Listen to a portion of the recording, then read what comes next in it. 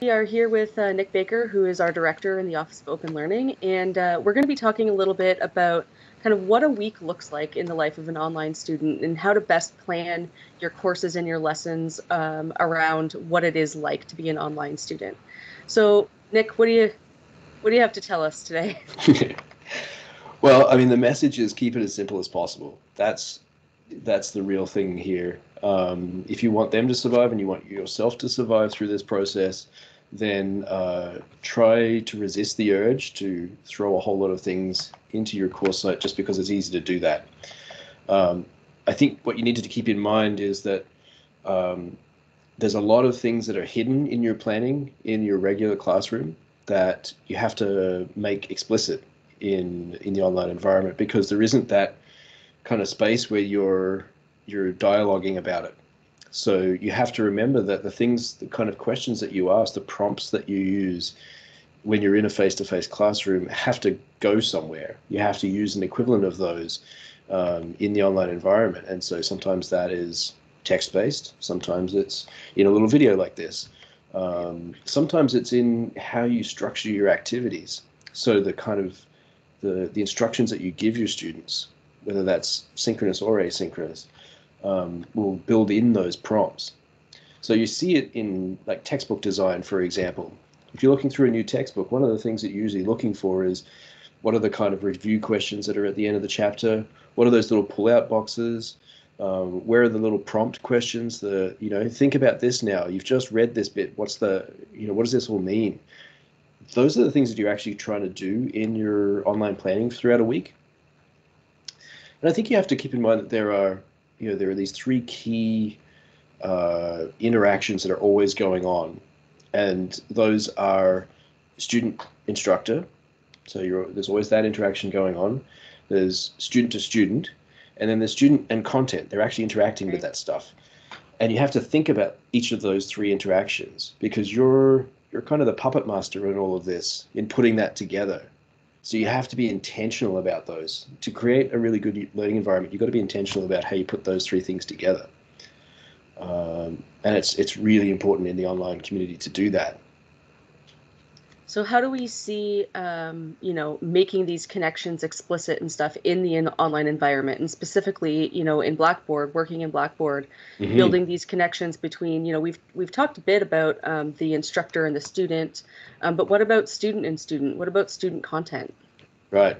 So those two are, are a little bit trickier to manage sometimes. You, you can't always tell exactly how your student-student interactions will go, for example.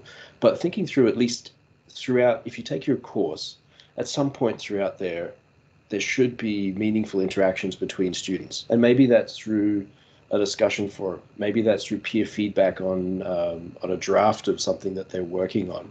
There are lots of ways that you can get students to interact with each other and feel like they're part of a community of learners.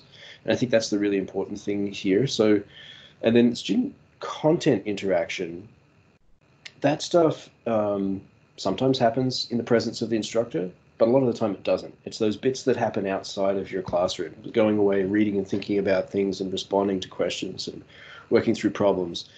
Again, you have to just be really explicit about what you want them to do.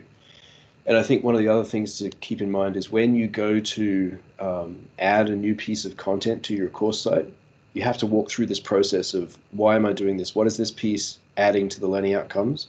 Do I really need to have it here? And if I don't, then maybe I, I should get rid of it it's really difficult for us sometimes as as um, experts in the field to remember what it's like to be a novice.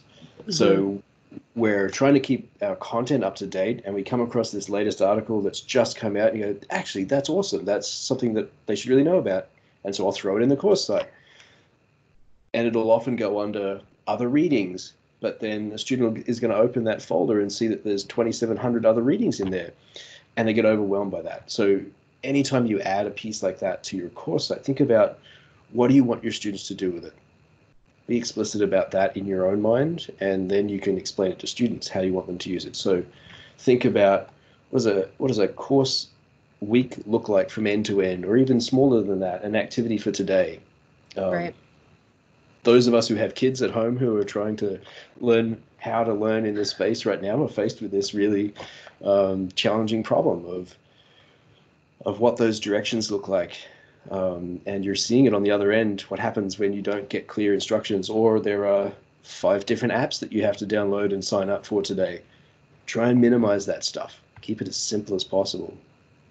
Right.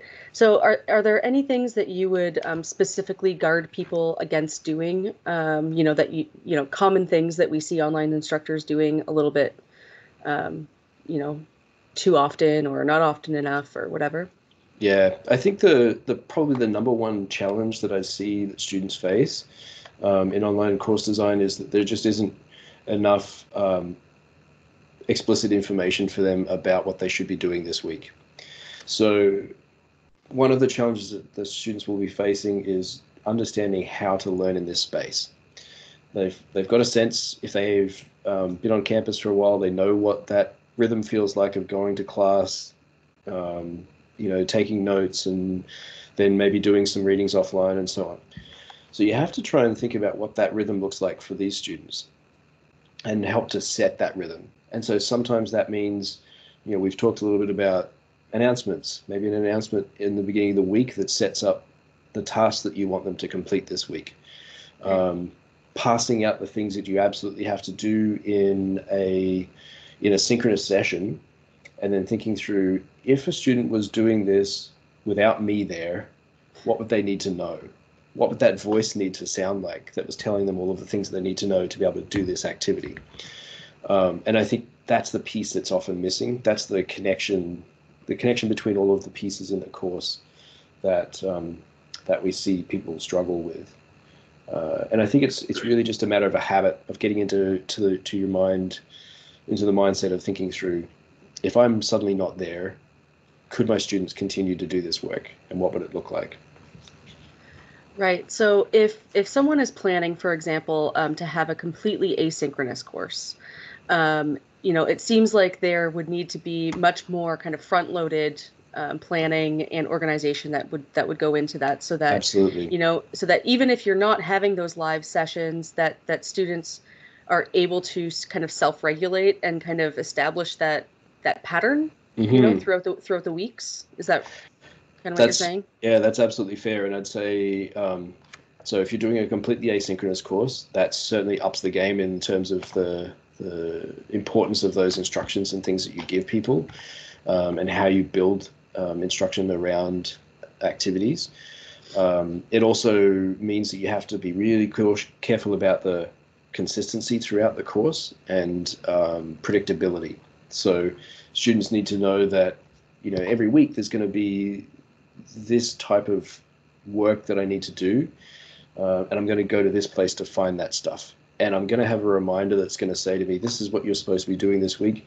But I also have that information in the syllabus or somewhere else where I've got a map that says, you know, week two, I'm supposed to read these things, I'm supposed to do these activities, and I'm supposed to submit this.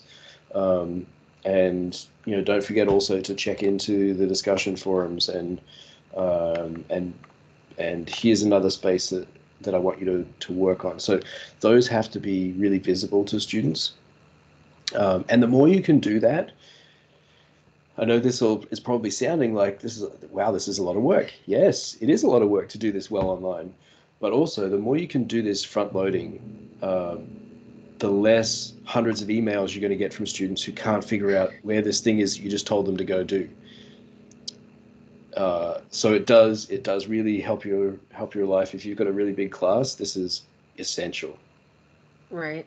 So maybe a little bit too of that uh, front-ended communication about how to do things, and you know mm-hmm. a bit about that navigation of the site to get people set up to effectively use the site properly. Yeah, absolutely. Doing that right from the beginning. So sometimes we'll use something like a, a lesson zero, we might call it, and that's the how do you lead people through the course? What are the pieces of the course that they need to be aware of? The tools that they need to try out, just like we, you know, would in in this course, for example. You might go.